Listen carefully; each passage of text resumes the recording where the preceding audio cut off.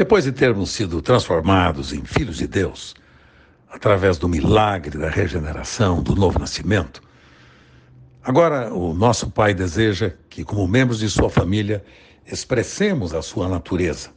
E então, o apóstolo João, na sua primeira carta, capítulo 4, versos 7 e 8, declara: Amados, amemo-nos uns aos outros, porque o amor procede de Deus, e todo aquele que ama é nascido de Deus e conhece a Deus.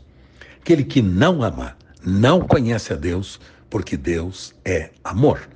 Portanto, a manifestação inequívoca de que somos nascidos de Deus, né, se fomos batizados nas águas ou se fomos recebidos em qualquer congregação, eh, não, senhores, se somos dizimistas ou não, não esse não tem eh, nenhuma, nenhuma força para determinar a, a realidade da nossa nova natureza. João diz: o nascido de Deus ama.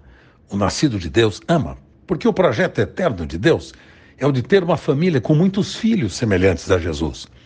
Por isso, esta família não pode viver de qualquer jeito, de modo que as pessoas se relacionem umas com as outras segundo os princípios que vigoram neste mundo.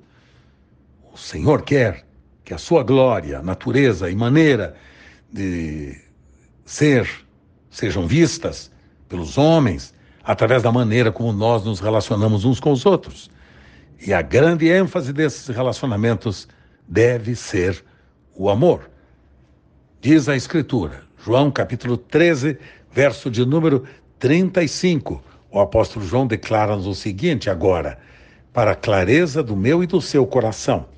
Novo mandamento vos dou, disse Jesus, que vos ameis uns aos outros como eu vos amei que também vos ameis uns aos outros, porque nisto conhecerão todos que sois os meus discípulos.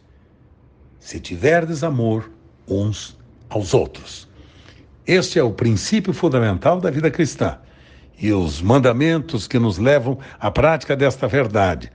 Nada mais são do que maneiras práticas de expressarmos o amor do Pai uns pelos outros, como diz o próprio apóstolo São Paulo escrevendo a sua carta aos Efésios no capítulo 5, verso 1, ser depois imitadores de Deus como filhos amados e andar em amor como também Cristo nos amou e se entregou a si mesmo por nós como oferta e sacrifício a Deus em aroma suave. É, portanto, fundamental entendermos que esses mandamentos apenas poderão ser praticados por aqueles que genuinamente nasceram de novo, são guiados e controlados pelo Espírito Santo. Somente por intermédio do Espírito Santo que conseguiremos viver esses mandamentos recíprocos na sua plenitude.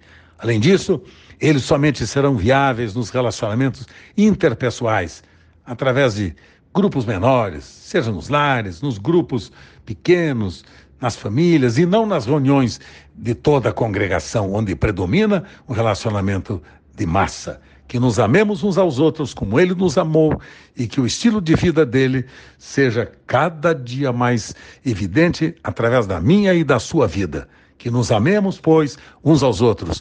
Este é o grande distintivo dos filhos de Deus que foram transformados agora em instrumentos dele para abençoar as famílias da terra. Vocês são muito amados, preciosos, e é por causa disto que eu amo muito, muito você.